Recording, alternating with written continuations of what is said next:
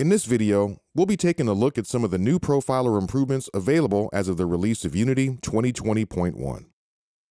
We've added new features such as metadata support for C Sharp Profiler API, flow event visualization in the profiler, improved profile analyzer performance, and we've also added the option to open the profiler as a standalone application.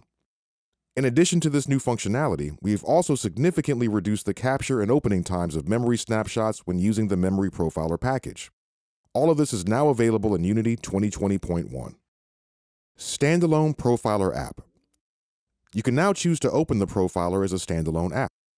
To open the standalone profiler, open Windows, Analysis, Profiler, Standalone Process. By moving the profiler to a separate process outside of Unity, we have reduced the performance overhead created by the profiler window itself when profiling the editor. This comes in handy when you're trying to understand what's going on with the performance of the editor. When profiling your game or app, we recommend using the built-in profiler to connect to your app running on your target device. Profile Analyzer. The profiler gives us the ability to analyze single-frame data. In Unity 2020.1, you can use this Profile Analyzer package to compare several frames or marker data at the same time.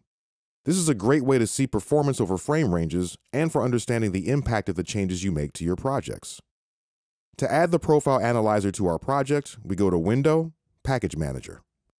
In the newly opened Package Manager window, we scroll down on the left-hand side and click on Profile Analyzer.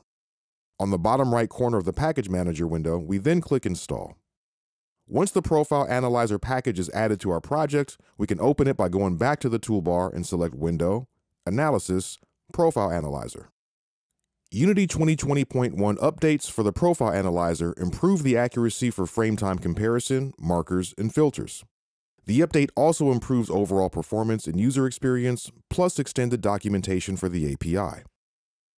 GPU Profile Data Starting in Unity 2020.1, users can now collect GPU performance profile data by using the Sampler API. Collected data can then be accessed through the Recorder API at runtime. This data gives us insights into what happens on the GPU. Additionally, you can get the number of begin end time pairs that the GPU executed during a frame using GPU sample block count. GPU profile data is available through the Sampling API for a number of platforms.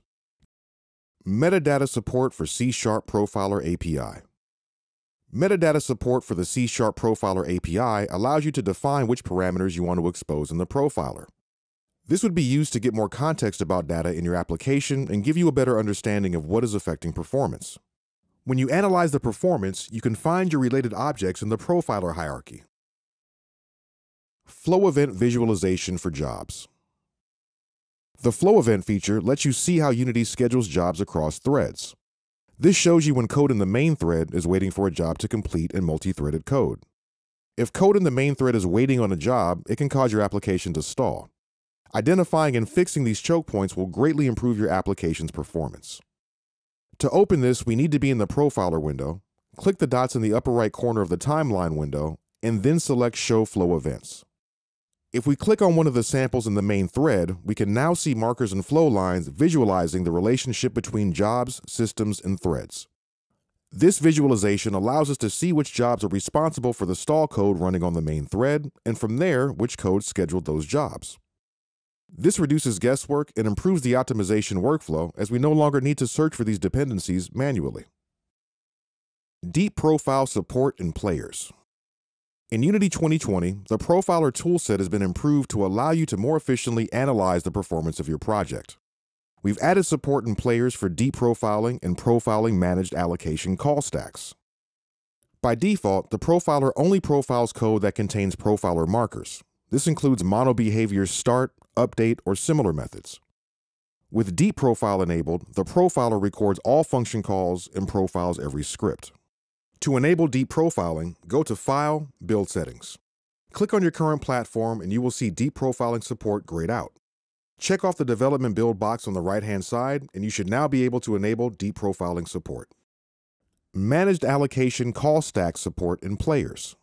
In Unity 2019.3, we introduced call stacks for managed allocations in players. This allows us to see the C-sharp function where a GC allocation is coming from when profiling players. This feature is disabled by default. To enable the collection of allocation call stacks in the Profiler window, go to the Call Stacks button on the toolbar and click on the drop-down icon, then click on gc.alloc. We now see gc.alloc samples in both the hierarchy view and timeline view. In timeline view, it is colored bright magenta. Configurable frame count. The Profiler window has also been improved to allow a configurable frame count that lets you extend the capture window by configuring the number of frames the Profiler window shows. You can click the dots in the upper right corner of the Profiler window and then select Preferences. A new window will open up. Now go to Analysis, Profiler. Now we can move the slider to show between 300 and 2,000 frames. This allows you to capture and analyze performance over a longer period of time, giving you a better chance to find what you're looking for.